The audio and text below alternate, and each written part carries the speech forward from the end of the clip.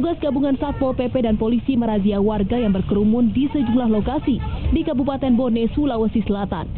Puluhan remaja yang terjaring ini kedapatan sedang berkumpul di tanggul pelabuhan penyeberangan Pelabuhan Bajo. Mereka tertangkap ketika berencana melakukan konvoi keliling kota Watampone. Mereka yang terjaring dalam razia ini diberi peringatan dan sanksi, yakni mendorong motor mereka dari tanggul pelabuhan menuju gerbang masuk pelabuhan.